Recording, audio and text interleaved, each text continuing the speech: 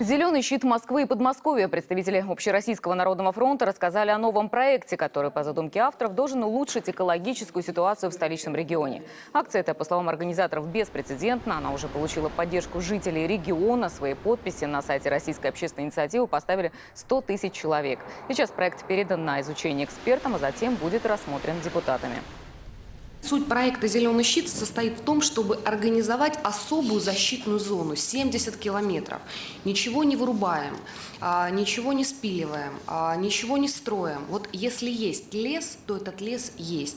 Если он есть по документам и он а, звучит как земли лесного фонда, то мы налагаем мораторий.